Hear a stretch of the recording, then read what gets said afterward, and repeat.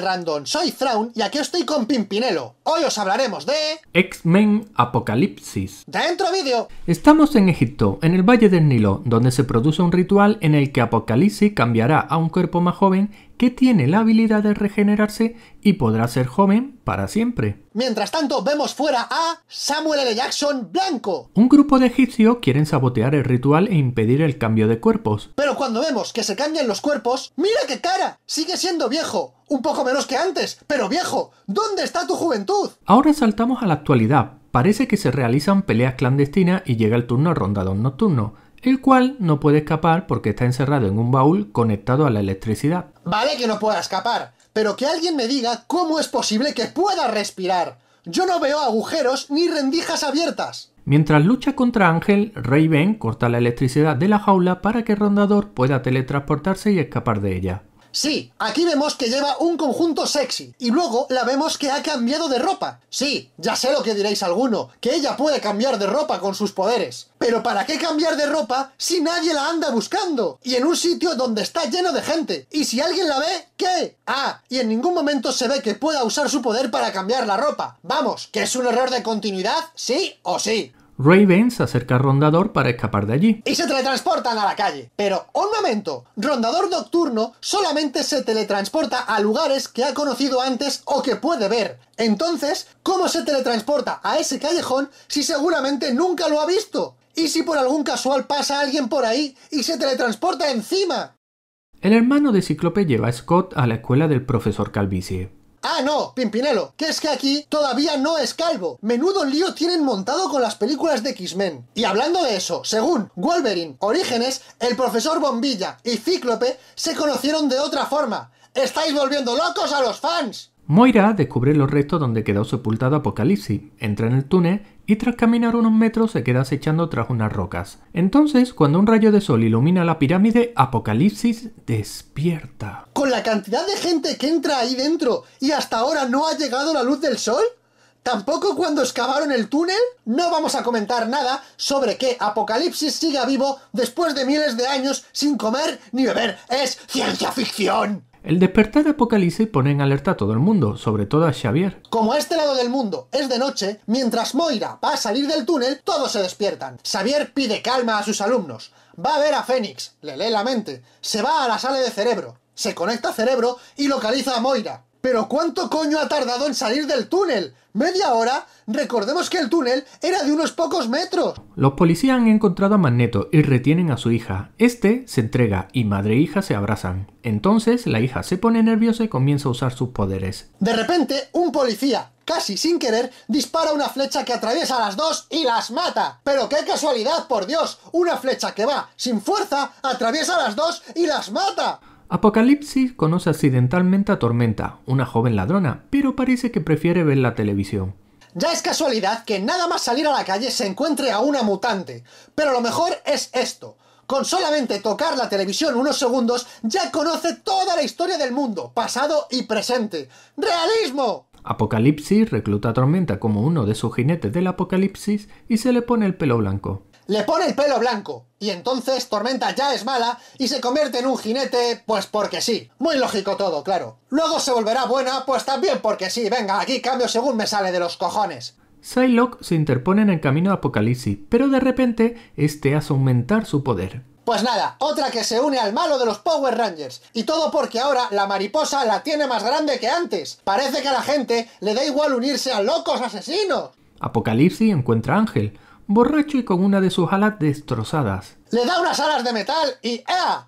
Otro al que ha convencido, y que también es malo, desde luego. Las motivaciones de los personajes para unirse están muy trabajadas, ¿eh? Cuando Magneto está a punto de matar a todos sus compañeros de trabajo, aparece Apocalipsis y hace el trabajo sucio por él. Para convencerlo, lo lleva a Auschwitz. Mata a todo el mundo, le dice que vaya con él, y va, con dos cojones. Se va con un asesino con superpoderes, pues porque sí. ¿Y cómo cojones sabe lo de Auschwitz? Ah, claro, pues porque tocó una televisión durante unos segundos, es verdad. Vaya agujeracos de guion, por Dios. Peter ve en la televisión a su padre y el pobre está amargado, ya que quiere hacer algo. De repente aparece la madre y el Rubius este del todo a 100 disimula como si estuviera jugando a Miss Pac-Man. Pero ¿cómo ha conseguido esa puntuación en unos segundos? ¿Tenía la máquina en pausa?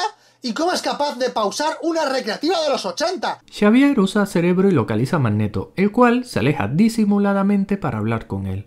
¿Para qué necesita hablar Magneto si Xavier puede leer lo que piensa? No le haría falta. Por cierto, da unos pasos, pero en el cambio de plano se ha alejado como 20 metros. ¿Qué piernas más largas tienes, Magneto? Apocalipsis se da cuenta de todo y a través de Xavier usa el cerebro, mientras el resto, en lugar de ayudarle, se quedan mirando. Y ojo, ojo con lo que hace Apocalipsis consigue contactar con todas las personas del mundo que están autorizadas para lanzar misiles y consigue que los lancen. Entre las millones de personas en el mundo, ha descubierto quiénes son capaces de utilizar este tipo de armas, controlar sus mentes y hacer que les obedezcan. Da igual en el idioma que sea, y además lo hace en unos segundos. Una cosa es ciencia ficción, pero esto ya es demasiado. Aparece Apocalipsis y sus jinetes, que se llevan a Xavier ante la pasividad de los X-Men. Cuando el hermano Cíclope reacciona, ya es tarde y dispara cuando han desaparecido. Casualmente, detrás de la puerta hay algo que explota al contacto con el disparo, y todo sale por los aires. La onda expansiva debería haber empujado al hermano de Cíclope hacia atrás, pero no, simplemente desaparece de la película. Pues aquí llegamos a la mejor escena de la película, donde casualmente Peter llega en el momento justo que el hermano de Cíclope hace saltar todo por los aires. Peter se coloca justamente delante de la explosión, pero, un momento, ¿no es ahí donde estaba el hermano de Cíclope? ¿Dónde coño está? Durante la escena, Peter disfruta de su música mientras rescata a todo el mundo. Pero si Peter es tan rápido que el tiempo parece que no avanza, ¿cómo es que la música va a velocidad normal? ¿Por qué la música no se oye lentamente? Aparecen los soldados que, con una onda electromagnética, dejan inconsciente a todos menos a los tres que estaban escondidos: Cíclope, Fénix y Rondador. Al tío este que va tan rápido y que parece que todo transcurre a cámara lenta, ¿no le habría dado tiempo de verlo venir e impedírselo? Ah, pues no. Los tres consiguen meterse dentro del helicóptero, pero descubren que no pueden usar sus poderes porque hay un campo electromagnético que lo impide. Así que tras irse el helicóptero, todos despiertan a la vez y ahora ven las estelas de los misiles que se habían lanzado antes de la explosión. Las estelas antes no estaban, pero ahora sí.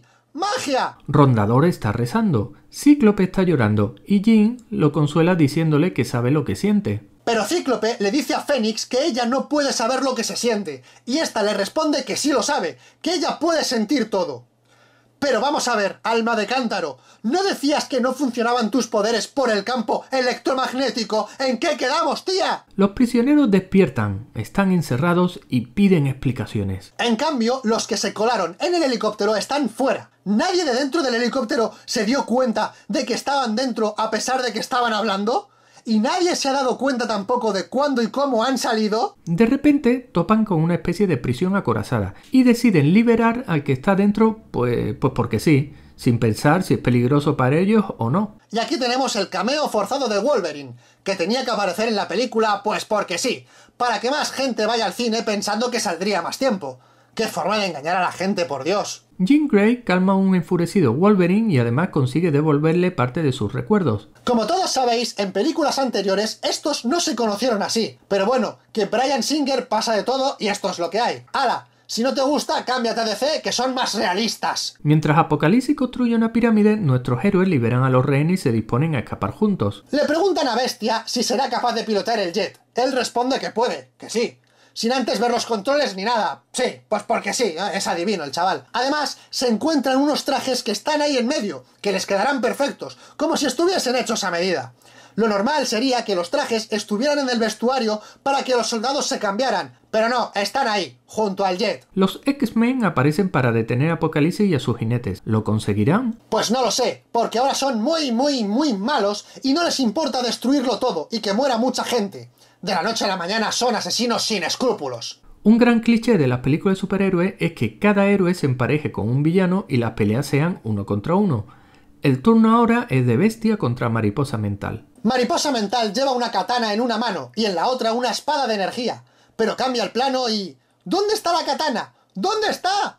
¡Ha desaparecido! ¡Misterios Men! Rondador consigue rescatar al Dr. Xavier mientras Apocalipsis intenta conseguir su poder. Quiere transferir su conciencia al cuerpo de alguien que no pueda mover las piernas. Muy listo no eres, Apocalipsis. Lo mismo, tu poder de regeneración no sirve para curar algo que ya está hecho. Encima, lo dejas calvo. Esto es maldad gratuita, porque sí. Pobre hombre, déjale el pelo al menos. Llega el momento del combate final, Apocalipsis contra todos. Y ahora de repente Tormenta y Magneto son buenos. Ya no quieren destruir el mundo. Ahora han cambiado de idea. ¿Por qué? Pues porque sí. Al final, todos unen sus fuerzas y vencen a Apocalipsis. Fin. Hola, soy Samuel L. Jackson. ¿Conoce la iniciativa de los Vengadores? No, no me gustan los Vengadores. Soy un X-Men. Pues ahora te llamaré Profesor Calvicie. ¡Calvo! Recordad que si os ha gustado el vídeo, dadle un like, compartidlo y suscribirse al canal Random, que es gratis. ¡Hasta luego!